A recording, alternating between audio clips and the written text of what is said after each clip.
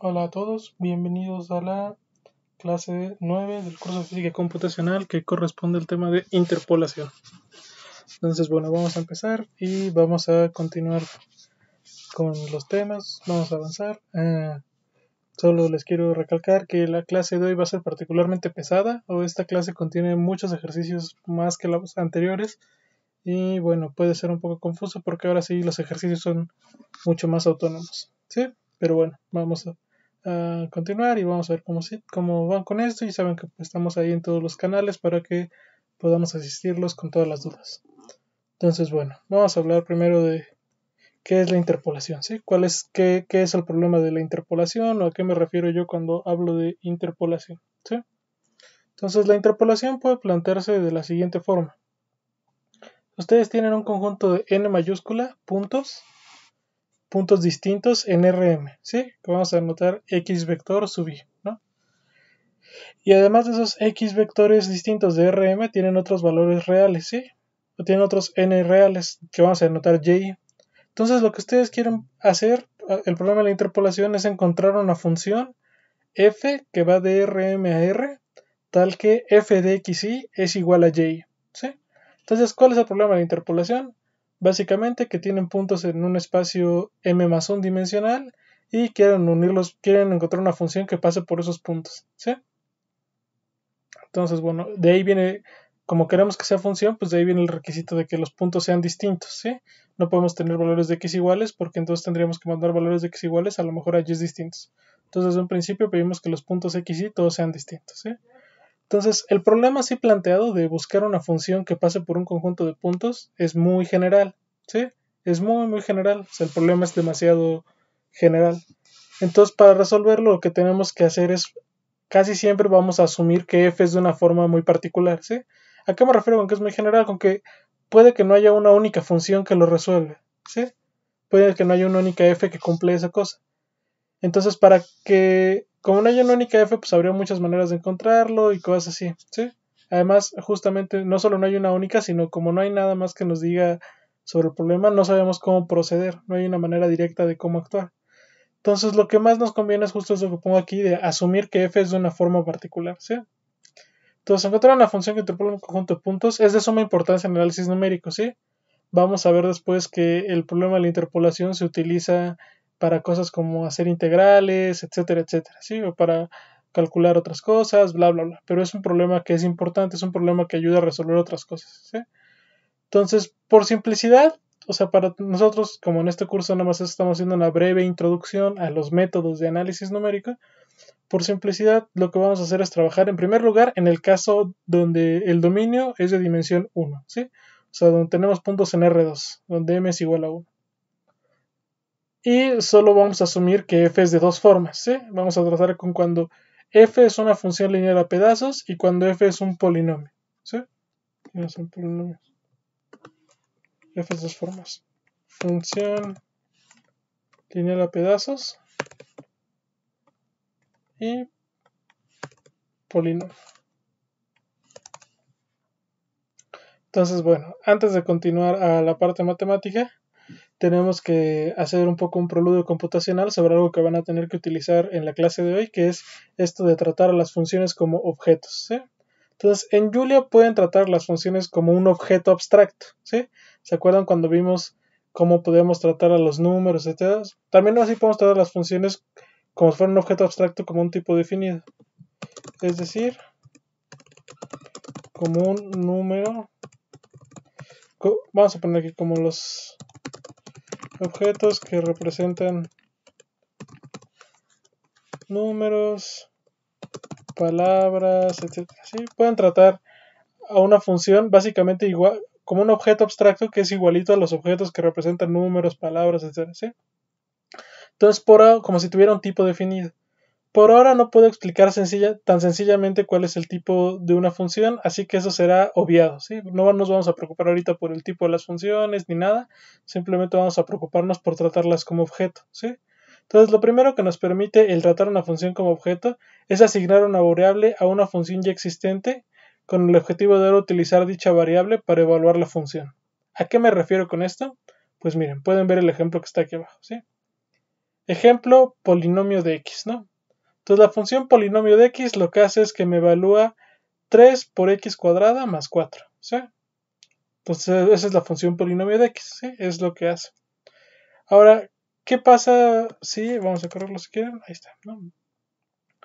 Entonces, ¿qué pasa si yo ahora uso esta, esta línea, ¿sí? Déjenme poner el número de líneas. ¿Qué pasa si yo ahora declaro lo que pasa en la línea 3? Que la variable f se vuelve igual a polinomio. Lo que está haciendo esta línea es que ahora asigno a f, a la variable f, la función polinomio. ¿Sí? Entonces, la variable f va a representar lo que es un polinomio, ¿sí?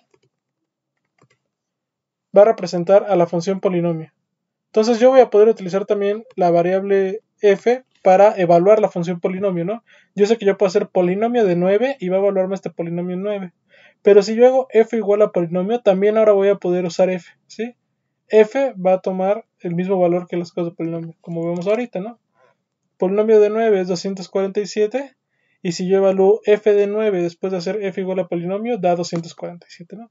Entonces, podemos tratar las funciones así como objetos y asignarlas a otras variables, ¿sí? Otra cosa que nos permite hacer esto, que es muy poderosa y lo van a tener que usar en esta clase varias veces, es construir funciones que regresen otra función. ¿sí? Sabíamos que las funciones podían regresar números flotantes, este, letras, palabras, etc. Pero se pueden hacer funciones que construyen otra función, ¿sí? Entonces voy a hacer aquí yo una función que se llama recta, que lo que va a tomar va a tomar como argumento la pendiente m y la ordenada al origen b, y lo que va a regresarme es la función g de rnr, o sea, la recta con pendiente m y, origen, y ordenada al origen b. ¿sí?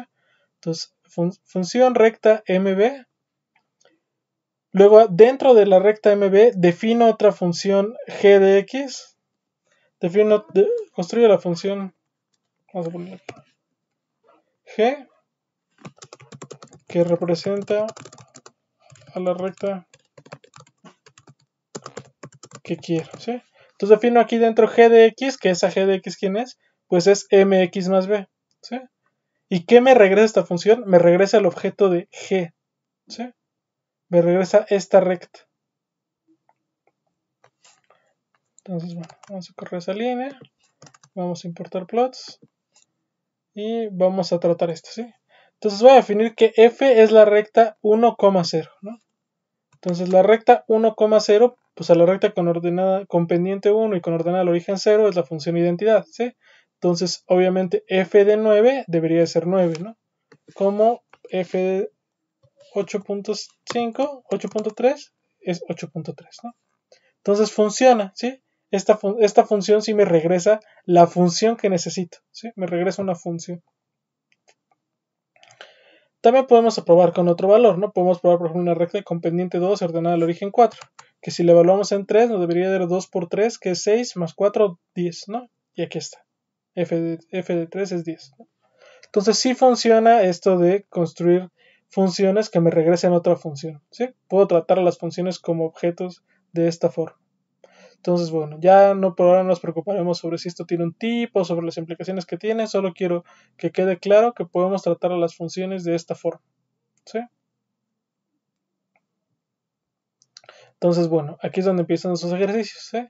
Tienen que primero definir una función que se llame cúbica, que tome como argumento una A0, A1, A2 y A3, y regresa una función, que esta función le regrese otra función que corresponda a esta función, ¿sí? esta función de variable real, al polinomio cúbico a sub 3 al cubo más a sub 2 al cuadrado más a sub 1 por x más a sub 0. ¿sí? Y también quiero que hagan una función trigonométrica que tome como parámetros k1, w1, k2 y w2 y que regrese una función g que corresponda a la función seno de k1 por x más w1 más coseno de k2 por x más w2. ¿sí? Entonces quiero que haga una gráfica que muestre la función para distintos valores de K1 y W1. Entonces, aquí más bien voy a aclarar que en una sola figura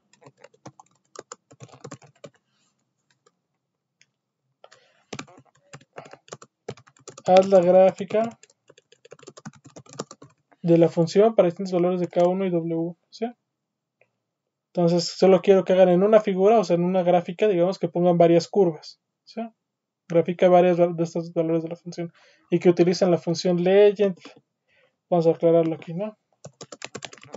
Utiliza el atributo legend para separarlas. Más bien para distinguirlas. Entonces tienen que usar la legends para que les aparezca aquí al lado también cómo distinguir las gráficas, etcétera, etcétera, ¿sí? Bueno. Entonces ya ahora sí vamos a regresar al tema de la interpolación después de ese preludio computacional. Entonces, para todo lo que sigue, para todo lo que vamos a seguir hablando de interpolación, supondremos que, acuérdense que estamos en R2 nada más, que tenemos n puntos x, y, y, que todos los valores son de x, y son distintos entre sí, y que están indexados por tal que para todo ahí tenemos que x, y es menor o igual que x, y más 1. O sea que x0 es más chico que x1, que x2, etcétera, etcétera. Así que están ordenados. Entonces ya tenemos los n puntos x1, x, y, y que están ordenados en x, etcétera que están indexados tal que están ordenados en X. Y ahora vamos a ver que buscamos una función de R en R tal que f de x y sea igual a y. Entonces, bueno, buscamos la f, ¿no? Entonces, este es el caso de la interpolación lineal a pedazos. ¿Qué sucede en la interpolación lineal a pedazos? Pues, como dice la frase, en la interpolación lineal a pedazos lo que hacemos es suponer que la función f es una función lineal a pedazos. Es decir, que para todo y la función restringida al subintervalo x y x y más 1 es una recta. ¿sí? ¿Cuál es un ejemplo de una función lineal a pedazos? Pues esta que está aquí, ¿sí? Aquí está el x0, el x1, el x2, el x3. Y aquí no existen estos cortes, pero si pueden ver en cada uno de los subintervalos, en x0, x1 es una recta, ¿sí? En x1, x2 es una recta, etcétera, etcétera. Entonces en todos los intervalos subsecuentes es una recta. Esta en particular además cumple que es continua, ¿sí? En cada pedazo donde se separan las rectas toma el mismo valor. Entonces, bueno. Si aquí continuamos, ya había importado plots, no me hace falta importarlo otra vez. Voy a definir esta función que se llama triangular, que es de esta forma, ¿sí? Entonces, por ejemplo, esta otra función lineal a pedazos, ¿no? El menos 3 es una, del menos 3 al menos 2 es una recta, del menos 2 al menos 1 es una recta, del menos 1 al 0 es una recta, etcétera, etcétera. Son funciones lineales a pedazos. Entonces, bueno, para construir la función f, la interpolación lineal a pedazos, la manera más sencilla y general es construirla a partir de un conjunto de funciones base. ¿sí?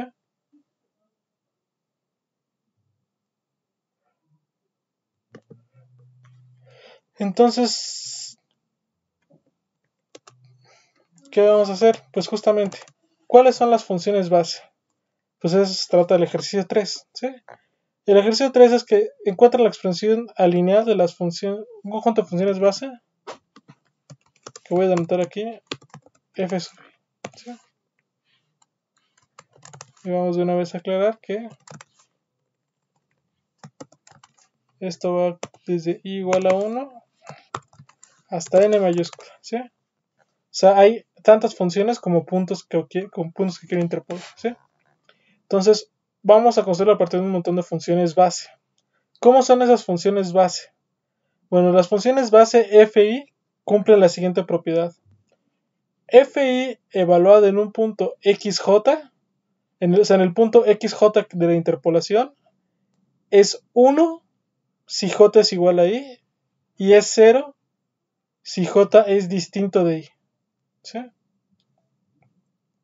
Entonces esto es muy importante. La función es lineal a pedazos, es una recta como aquí, en cada x0, x1, x2, etc. Y cumple con esto, que es 1 en un punto y que es 0 en otro. ¿sí? Entonces, bueno, ustedes se la tienen que ingeniar para ver cómo es la forma de esta función. ¿sí? ¿Cuál es la forma que debe tomar esta función? Entonces, recuerden que fi debe estar definida a pedazos, ¿sí? Porque estamos hablando de funciones lineales a pedazos, entonces f de i también debe estar definida a pedazos. Entonces, aquí tienen que ingeniárselas y pensar mucho, mucho sobre cómo tiene que definirse esta función, ¿sí? Sobre cómo tiene que ser esta función. Entonces, bueno, después de que definan esa función, después de que encuentren la expresión, o sea, la expresión analítica, aquí quizás haga falta aclararlo, lo que deben de hacer es ahora, ya que tienen la expresión y vean de qué depende, lo que tienen que hacer es ahora definir una función que se llame base lineal, que tome como argumento unas x's, un índice y y una x. Y entonces las x's, ¿quiénes van a ser? Pues son el arreglo ordenado de las... El arreglo, las x's son un arreglo ordenado de los valores de xj, ¿sí? De los puntos a interpolar. O sea, son todos los puntos x0, x1, x2, etcétera, etcétera.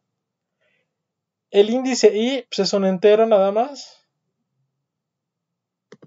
Vamos a aclarar aquí un índice i entre 1 y y un número x, ¿sí? ¿Y qué me va a regresar esto? Esto me debe regresar f sub i evaluado en x. Entonces la, esta f va a depender de los puntos de interpolación y va a depender del índice. Entonces aquí les doy los puntos de la interpolación, el índice y el valor de x donde quiero que evalúen a dicha función, ¿sí? Entonces, antes que hagan esto de manera directa, quiero que noten que deben de tratar de manera especial los casos igual a 1 e igual a n, ¿sí? La función de este tipo debe, está definida a pedazos, pero es distinto como es para los puntos extremales del intervalo que para los puntos interiores. Entonces, bueno, a partir de esas funciones, pueden ustedes definir la interpolación lineal a pedazos, la f normal ahora sí, de esta forma, ¿sí? f es f de x, o sea, f de x es igual a la suma desde i igual a 1 hasta n de y fi evaluada en x, ¿no? ¿Por qué? Pues porque noten que si yo evalúo esta f de i, f en una xj, esto de aquí se vuelve una delta de Dirac y lo que sucede es que el valor de la función se vuelve yj, ¿sí? O sea, noten que esta función es la que cumple la propiedad que yo estoy buscando, de que pase por los puntos yj, ¿sí? Aquí quizás haga falta aclararlo, pero vamos a ponerlo. ya que f sub i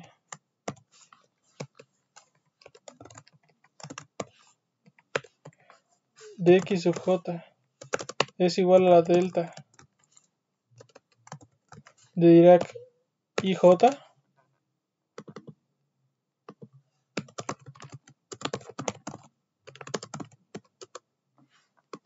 Entonces aquí claro también que es la... Todo esto es la delta Dirac, esta es la delta de Kronecker.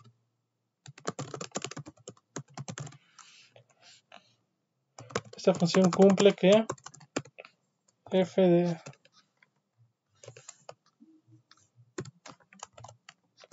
x sub j es igual a y sub j. ¿Sí? Entonces claramente como esto se cumple, esta función va a pasar por los puntos. Entonces, bueno, ahora ¿qué tienen que hacer? Pues ya llegaron hasta la parte más importante del notebook, ¿sí? Entonces, en el ejercicio 5 les pido que definan una función interpol lineal que tome como argumentos las x's y las y's, ¿sí? Que van a interpolar. O sea, van a tomar el arreglo ordenado de los valores x y otro y de los valores y a interpolar y lo que quiero que esto haga, esta función les regrese, es el objeto de la función. ¿sí? Y que regrese, quizás no el objeto, vamos a ponerlo aquí directamente. Que regrese la función f de x. ¿sí? Así como hace rato hicimos una función que regresaba otra función, aquí quiero que hagan esto y que esto regrese la función. ¿sí? El objeto de la función. Entonces, bueno, ahí tienen que ingeniárselas para ver cómo logran hacer que esto les regrese la función, etcétera, etcétera, etcétera. ¿sí? No es tan complicado, nada más tienen que pensarlo un poquito y va más o menos a salir. ¿sí?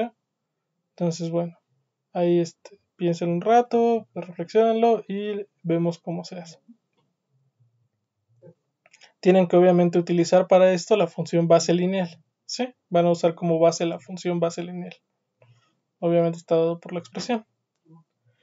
Bueno, ya que tengan eso, ahora tienen que hacer esto, ¿sí? Tienen que ahora sí utilizar su función de interpolación lineal para, para interpolar funciones. Entonces, yo les doy dos funciones, ¿sí? la función seno, yo, yo les digo, tiene la función seno de x en este intervalo y esta función de e a la menos x entre 4 al cuadrado por coseno de, de 5x, ¿no? En otro intervalo. Entonces, para estas dos, lo que quiero es que generen pares de x y y que pasen por las funciones, ¿eh? O sea, que se generen valores en x, luego los evalúen, evalúen la función en ellos y construyen así n puntos, n mayúscula puntos, x y y. ¿sí? Entonces, ya que tengan eso, quiero que utilicen la función del ejercicio anterior, la función interpolineal, para obtener la interpolación, aquí no es a pedazos, la interpolación lineal a pedazos. ¿sí? Ya que la tengan, pues quiero que muestren en una sola figura la función original, la función interpolada y los puntos donde la interpolaron. ¿sí? Entonces van a tener que utilizar, por ejemplo, plot para graficar la original y la interpolada en muchos puntos y también los puntos de, y los puntos de interpolación lo van a tener que hacer con scatter. ¿sí? Entonces, bueno, ahí van a tener que trabajar con eso y hacer eso. Y después se pone más complicado todavía, ¿sí? Entonces, en el parte 6.2 lo que les pido es que les defino lo que es la norma entre funciones, ¿no? Entonces, la norma entre una función f y una función g pues, es pues, justo la norma de f menos g subinfinito. Esta notación viene de análisis matemático, no voy a ahondar en eso ahorita, pero tiene que ver con que hay muchas normas entre funciones y esta solo es una de ellas. La norma de f con g es el supremo de todas las x en un intervalo del conjunto del valor absoluto de la diferencia. ¿sí? O sea, el supremo que toma la función, que toma esta función de valor absoluto de f de x menos g, menos g de x. ¿sí? Esta es la norma entre funciones, es el máximo valor o el supremo que toma esta función en un intervalo. ¿sí? Entonces, yo les defino, si esta es la norma entre funciones, yo les defino que el error de la interpolación es la norma entre la función original y la interpolación. ¿Sí? Entonces quiero que hagan el análisis de cómo cambia el error como función de n. Quiero que hagan el análisis así como hacemos el análisis del error absoluto para otros algoritmos como función de n. Aquí también lo hagan, pero ahora como tomando en como su resultado del algoritmo no es solamente no es una no es un punto, por ejemplo, sino una función, Ahora, en lugar de tener diferencia de valores absolutos entre puntos, tienen que tomar la norma entre funciones. ¿sí?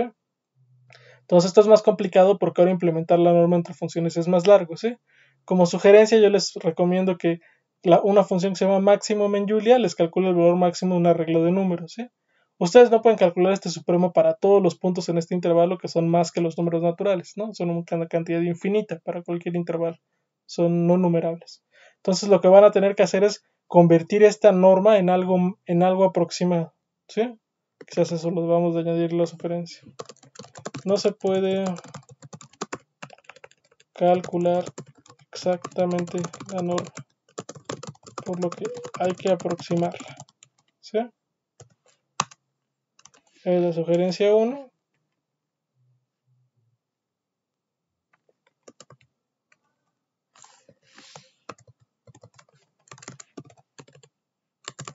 La sugerencia 2 ¿qué es? pues es que hay una función hay una función que se llama maximum en Julia que lo que hace es que les toma como si la maximum de A calcula el valor máximo de un arreglo de números A, ¿no? Entonces quizás haría falta ver, hacer un buen ejemplo. Maximum de 3, 1, 4, 0, 10, 19, es el 19. Entonces, esa función máximo les va a ser útil para calcular la norma entre funciones.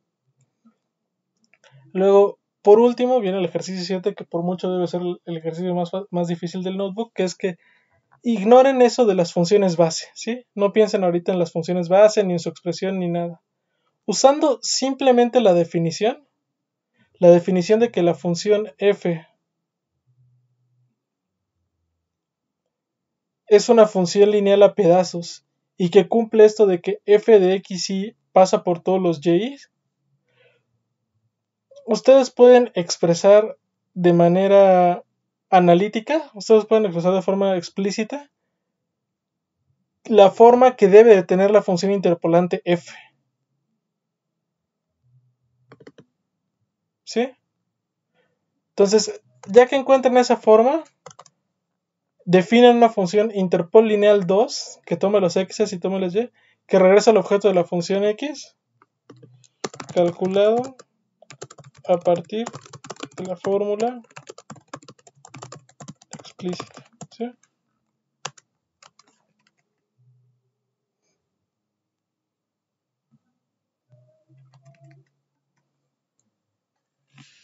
Entonces, bueno, este ejercicio yo creo que es el más complicado, es más o menos complicado. ¿Qué les voy a dar de sugerencia para ese ejercicio? Pues bueno, para la fórmula explícita, como esta es una función a pedazos, pues también debe estar, debe, va a estar definida a pedazos, ¿sí? Entonces, como sugerencia, simplemente van a tener que recordar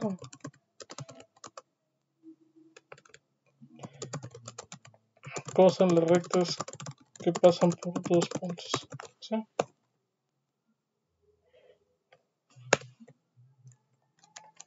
Y ni siquiera la forma, ¿no?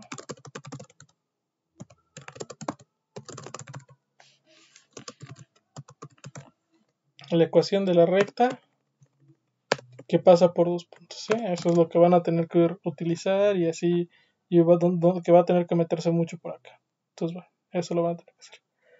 Entonces les recomiendo mucho que aquí no sigan con esta parte de interpolación polinomial, si no pueden acabar la parte de interpolación lineal a pedazos porque es muy parecida. ¿sí? Entonces si no entendieron la parte de interpolación lineal a pedazos, denle a eso hasta que ya se sientan seguros para entrar a la interpolación polinomial. ¿sí? Entonces, como van a ver en los ejercicios de interpolación polinomial cuando hagan sus gráficas comparando una función interpolada con una función original, van a ver que la interpolación lineal a pedazos no es la mejor. ¿sí? No es la que mejor interpola una función y en términos de la norma eso también queda muy claro, ¿sí? No es la que mejor interpola una función para nada, ¿sí? Entonces, para todo eso conviene que en lugar de y eso tiene que ver pues porque piénsenlo, o sea, en cada subintervalo estamos aproximando la función como una recta y no necesariamente tiene que ser muy recta la función, puede tener muchos errores y muchos problemas. Entonces, no necesariamente es bueno usar eso.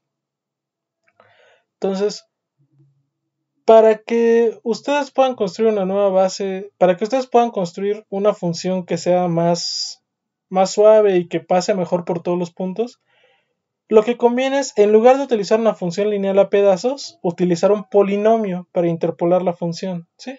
En lugar de una recta en cada subintervalo de los puntos de interpolación, pueden utilizar un polinomio. ¿sí? No un polinomio a pedazos, sino un polinomio en todo el dominio en desde el x0 hasta el xn el mismo polinomio. Entonces, para eso, lo que deben de hacer es ahora construir una nueva base G sub y de polinomios que cumplan con la propiedad deseada. Y aquí me falta aclarar de polinomios de grado n.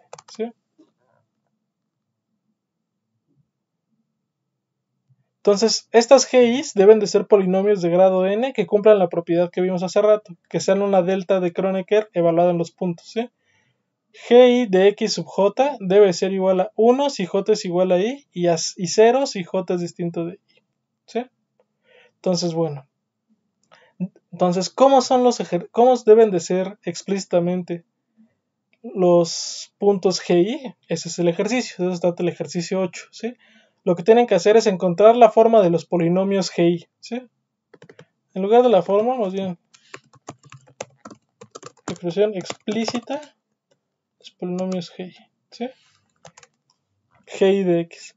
Entonces, para, para que encuentren esta forma explícita de los polinomios, lo que tienen que recordar o lo que tienen que pensar es para qué se factoriza un polinomio. ¿sí? Tienen que recordar que el polinomio es de grado n entonces vamos a poner, recuerda que GI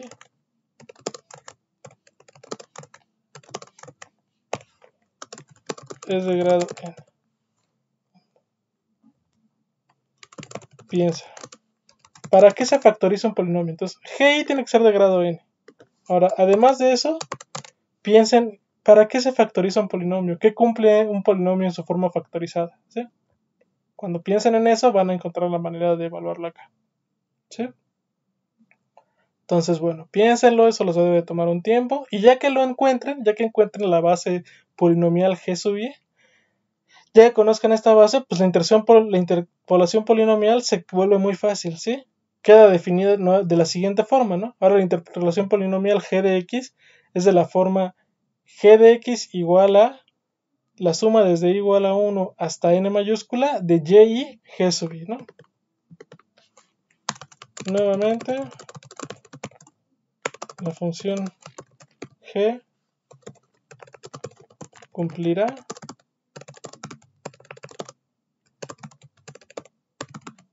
que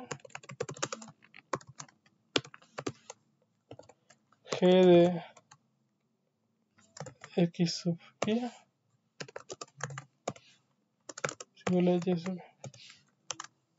entonces bueno ustedes ya tienen que trabajar tienen que la parte difícil es encontrar primero tienen que encontrar aquí atrás y ya que lo encuentran se va a ver así entonces análogo a como fue con la interpolación lineal a pedazos ¿qué deben de hacer ahora? tienen que ahora definir una función que se llame interpol poly que tome las x y las y de lo que van a interpolar y que les regrese justamente la interpolación poly la función nuevamente vamos a aclarar aquí que es la función lo que les debe de regresar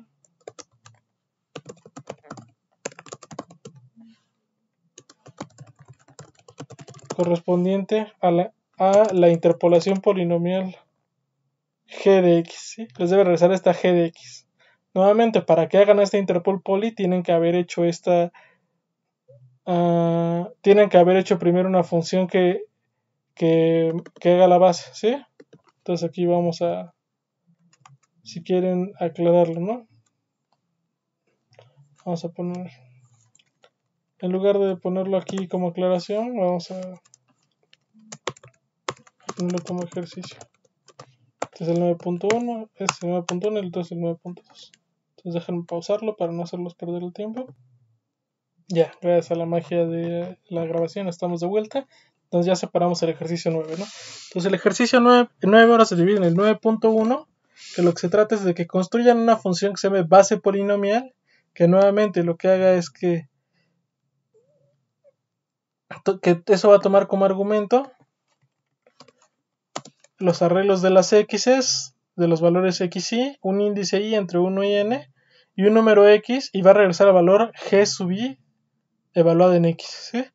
Y luego, ya que tengan esa, pues ahora van a hacer la función interpol poly, que tome como argumento un arreglo de x y le regrese la función correspondiente a la interpolación polinomial. Entonces, para construir la, la función que, que, es la interpolación polinomial, tienen que construir primero la base polinomial. ¿sí? Entonces, bueno, lo difícil realmente es encontrar la expresión de los polinomios y ya que la encuentren, pueden utilizar la base polinomial, ¿no? Entonces ahora tienen que repetir, como el ejercicio 10 es volver a repetir la interpolación y el análisis de errores, pero ahora utilizando la función interpol poly, ¿sí? La interpolación polinomial. Van a repetir, tienen que volver a encontrar cómo crece el error, como función de n, etcétera, etcétera, y luego responder la pregunta mágica, ¿sí? ¿El error en la interpolación es mejor o peor que con la interpolación lineal a pedazos? ¿no? ¿Cómo esperan que sea? ¿Eso lo se observa? ¿Es real? Bueno, tienen que hacerlo y tienen que mostrarlo, ¿sí? Tienen que justificar y todo. Aquí no es de que lo que crean ni nada, sino tienen que hacerlo. Por último, el ejercicio 11 es que ahora definan ustedes un polinomio de grado n-1, ¿sí? El que ustedes prefieran, el que ustedes quieran. Entonces, define un polinomio, está muy abstracto, no sé. Una función, vamos a ponerle nombre, que corresponda que regrese el valor de un polinomio de grado, de grado n-1. ¿sí? El polinomio que ustedes quieran, ¿sí? Y ahora utiliza n valores de x uniformemente espaciados, o sea que la, la distancia entre x y más 1 y x y sea una constante. O sea, eh, o sea, que los x sean una partición regular de un intervalo de donde ustedes quieran utilizan esos valores para generar pares x, y, y sub i. ¿sí? Ya que los tengan, ahora utilícenlos para generar la interpolación polinomial.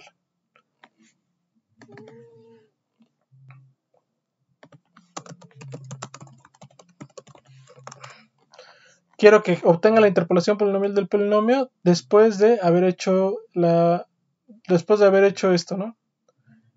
Ya que tengan la interpolación, quiero que grafiquen ambas funciones, ¿sí? Grafiquen ambas funciones y, ve, y, y van a observar algo muy particular, ¿sí?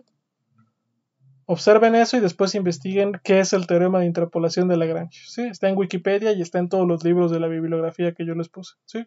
Si no en todos, en particular en el Matthews and Fink. ¿sí? Y bueno, ¿qué más tenemos que decir sobre las interpolaciones? Entonces se ve que aquí hay muchos ejercicios, eso está muy cargado, pero es lo que se tiene que hacer. Entonces, bueno, ¿de qué se trata ahora lo de la estabilidad de la interpolación polinomial? Entonces, resulta que en la práctica del día a día, la interpolación polinomial, o sea, ustedes ahorita si ya hicieron la parte de hacer las interpolaciones, deben de estar fascinados y deben de decir, no, qué padre, se ven muy bien las funciones, se parecen mucho, etcétera, etcétera, ¿sí? Para las funciones que les puse es muy probable que se parezcan mucho y se vean bien, ¿sí? Sin embargo, es muy probable que para otra clase de funciones o para funciones difíciles, es muy posible que la interpolación polinomial sea inestable, ¿sí? O sea, la interpolación se puede volver muy inestable. O sea que en cambios muy chiquitos en las X, en cambios chiquitos en la Y, tome valores muy distintos a los que toma cerca de los puntos de interpolación, de los nodos de interpolación. Entonces, pueden graficar para ver eso, la función original y su interpolación, pero en un intervalo más grande, ¿sí? No en el intervalo x0, xn, sino en un intervalo más grande que contenga al usado para interpolar, ¿sí? O sea, en un intervalo, si quieren, vamos a ponerle aquí. Y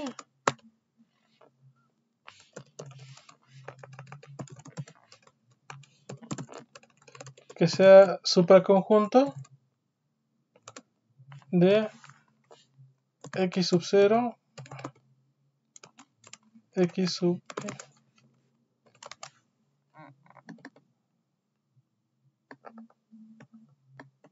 Denme un minuto para buscar cuál es este símbolo. Ya, gracias. Entonces, grafiquen esto en un intervalo y que sea supraconjunto, o sea que contenga al intervalo x0, xn.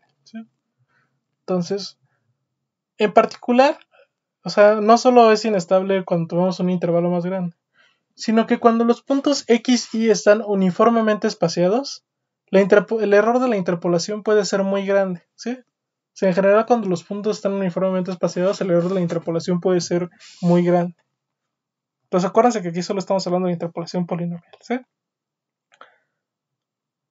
Entonces, bueno, el ejercicio 12 se trata de que ahora yo les defino una función que se llama la función de Runge, que es de esta forma. r de x es igual a 1 entre 1 más x cuadrado. ¿sí? Entonces, hagan una partición regular del intervalo menos 1, 1 con n puntos, ¿sí? O con n subintervalos, como sea, da igual. Yo les digo que mejor n mayúscula puntos. Y ahora utilicen esa partición regular para generar los pares x, y, y, ¿no? Esto les genera ya los x's y utilícenlos para generar los pares x, y, y de esta función, ¿sí? Entonces, hagan la interpolación polinomial de la función y grafíquenla y compárenla junto con esta función de Runge, con la función original. ¿Qué observan? Van a observar algo muy particular con la interpolación, ¿sí? Y háganlo para varios valores de n, para muchos valores de n, no para, no para solo n10 o n20, sino para valores grandes de n, ¿sí? Entonces van a ver que la interpolación se ve de cierta forma, ¿sí? Entonces, en general, lo que conviene es tomar puntos separados no uniformemente, o sea que no sea constante la separación entre ellos para interpolar la función, ¿sí? Entonces, ¿cómo pueden ser esos puntos? Pues de eso se trata el ejercicio 13. Entonces, definimos los nodos de Chebyshev para todo y entre 0 y n. Ahorita no se preocupen por eso. De la siguiente forma. x sub i es el coseno de 2k menos i entre 2n. Perdón, esto está mal. Esto debería ser i. Disculpen. Entonces, x sub i es el coseno de 2i menos 1 entre 2n multiplicado por pi. Es este coseno. Entonces, ya que tengan ahora estos puntos, o ya que definen los nodos de Chebyshev de esta forma, creen ahora una interpolación polinomial para la función de Runge, pero ahora ya no utilizando la partición regular, sino utilizando ahora n nodos de Chebyshev. Quiero que lo hagan. Después, aquí no dice, pero en las gráficas.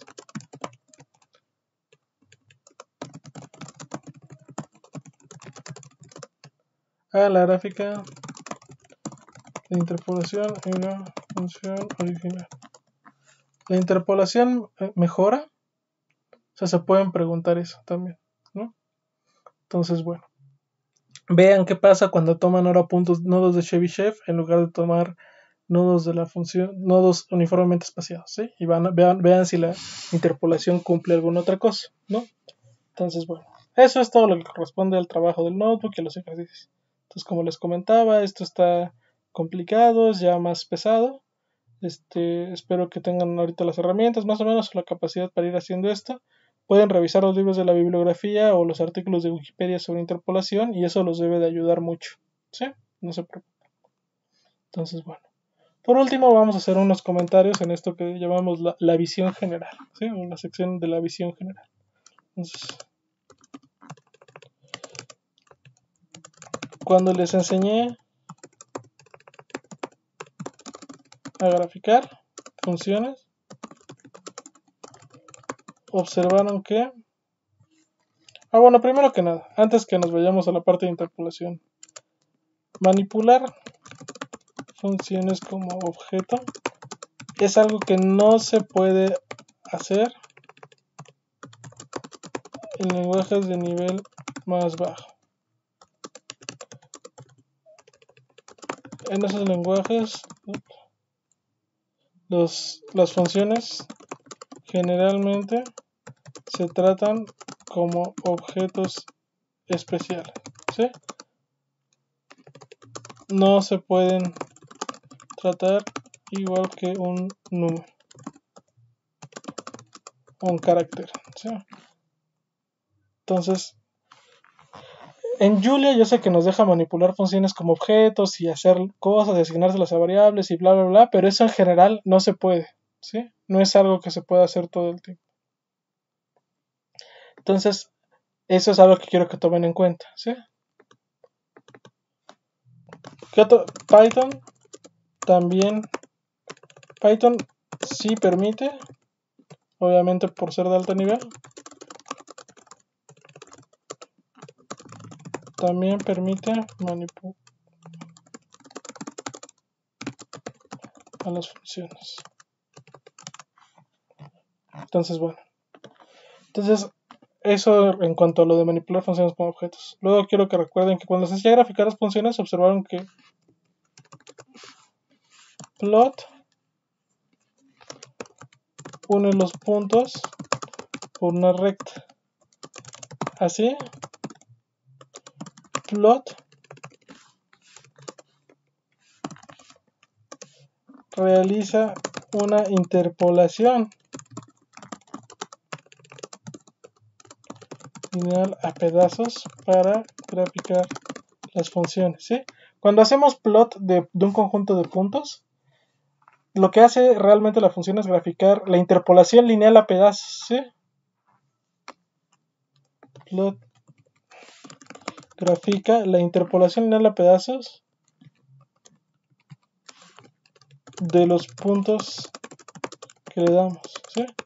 Cuando tomamos muchos puntos, esa interpolación se parece mucho a la curva de, de la función original, ¿no? Entonces, este es uno de los ejemplos más sencillos de qué tan utilizable es la extrapolación. Bueno, más bien, en lugar de utilizable, qué tan útil, ¿no? Disculpa. Qué tan útil. Por último, y esto va ser la interpolación de Lagrange.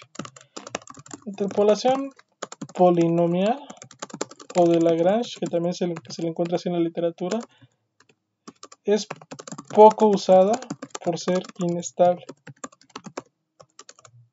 en general, conforme tomamos más puntos, se vuelve todavía más inestable en ciertos intervalos.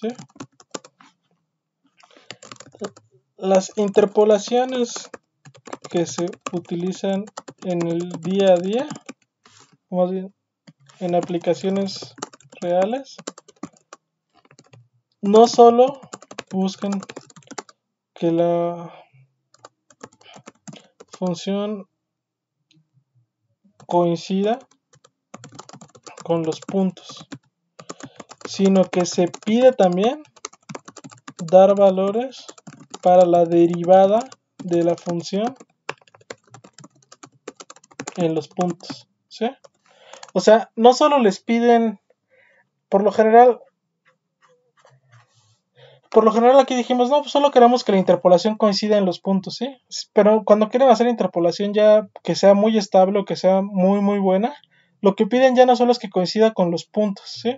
Sino también lo que les piden es que les den los valores de la derivada de la función interpolante.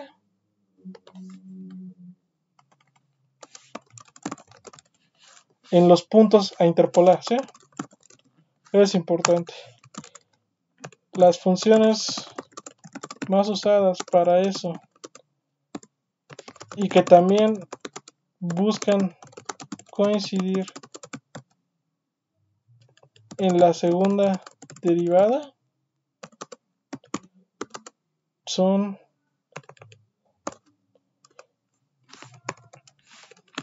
funciones cúbicas a pedazos es decir funciones o que también les llaman en inglés, vamos a ponerlo aquí,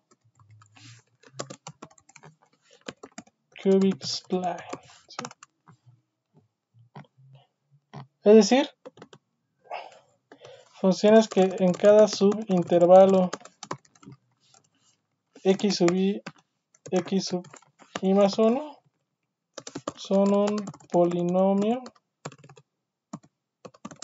cúbico.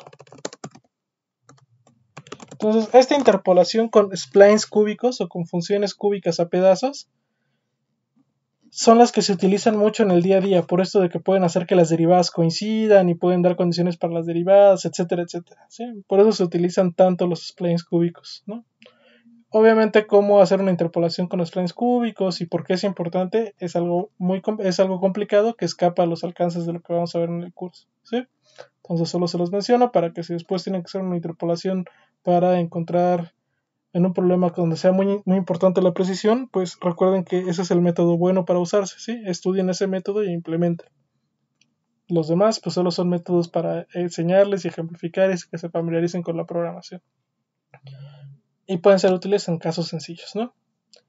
Bueno, entonces con esta parte cerramos ya la clase de hoy, nada más para mostrarles cómo se hace esto en la vida real. Y bueno, espero que les haya parecido divertido y si tienen dificultad, recuerden, estamos en todos los canales de comunicación para apoyarlos. Muchas gracias, cuídense mucho, hasta luego.